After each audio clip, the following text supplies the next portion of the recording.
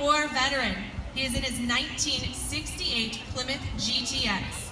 Roger is being towed by his oldest son, Robert, in a 1999 Cadillac Eureka hearse. Roger was born in Blossburg to Clarence and Grace Schultz. Like so many others in our community, Clarence was a coal miner. Clarence broke his back and neck and laid in a body cast for nearly a year. Roger's Uncle George, however, lost his life in the mines.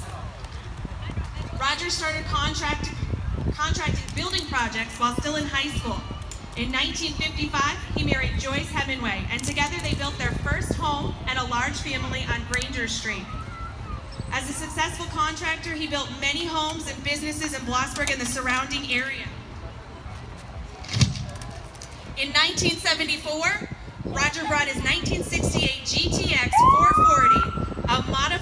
in it several and modified it several times before converting it to a drag car in 1997. His racing career started in 1971, but, cut, but was cut short by a heart attack and several strokes. He raced at Numidia, Beaver Springs, and Empire, all of which he received many awards and trophies. The greatest accomplishment